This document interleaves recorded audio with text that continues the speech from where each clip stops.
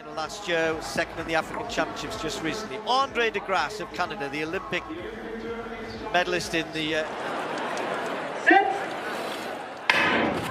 De Grasse gets a pretty good start, but Prescod is out with him as well, and so is Simbine. But if Prescod's that close, then uh, just watch out. And running well is Azamati, but De Grasse might force him, but Prescod's right there. Oh, I think De Grasse just got it on the dip right to the line. Style, maybe a bit of a Colin Jackson dip. He'd have got it. Didn't get the best of starts, the Brit there, uh, in lane uh, three.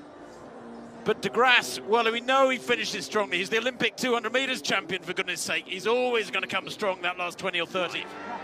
By one run 100 from Prescod. That is almost literally the thickness of a vest.